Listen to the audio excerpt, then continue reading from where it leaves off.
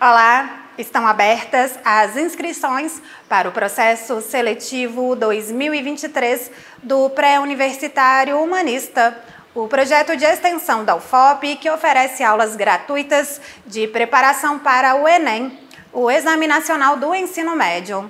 Ao todo, são ofertadas 250 vagas para aulas em Ouro Preto. Podem participar estudantes do segundo e do terceiro ano do ensino médio ou que já concluíram essa etapa do ensino. De acordo com o edital, a preferência será para os alunos que vão concluir o ensino médio em 2023.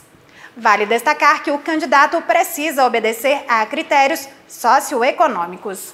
As inscrições seguem até o dia 17 de fevereiro e os detalhes do processo seletivo você encontra no edital disponível no site da UFOP.